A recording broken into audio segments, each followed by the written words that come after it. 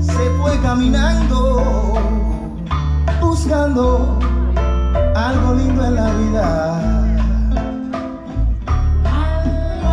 Algo lindo como yo tranquilo me fui acercando, tomaste mi mano y dijiste, sí ma, vamos echando.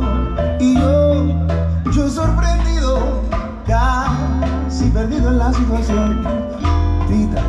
di un beso y nos fuimos para el malecón.